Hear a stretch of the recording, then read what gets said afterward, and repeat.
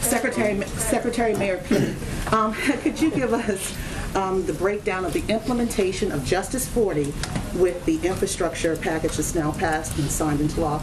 And also, um, can you give us the construct of how you will deconstruct the racism that was built into the roadways that you talked to the Grio earlier when you broke that information with us? Can you talk to us about how that could be deconstructed? For sure, yeah. So you know, the principle of Justice 40 is that at least 40% of the clean investments in this bill will go to benefit the communities that are overburdened, overburdened and, and underserved. So part one of that is defining those those investments that are eligible, and that's a lot of it. And we're working to map out kind of program by program, mode by mode, uh, what would qualify. For example, if we're uh, buying clean buses, right? How do we make sure, in terms of where those buses go?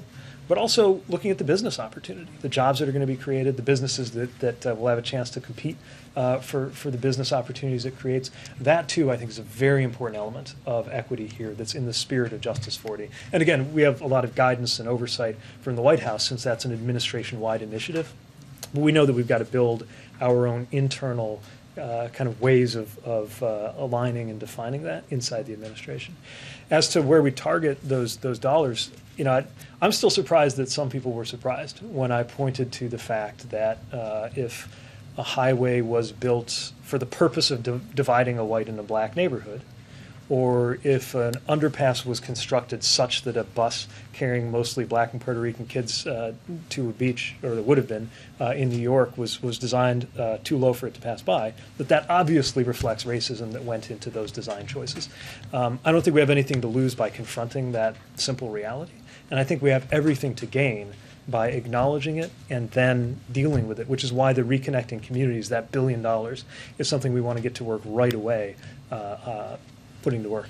But that's such a heavy lift. I mean, you have to reconstruct communities that this happened to.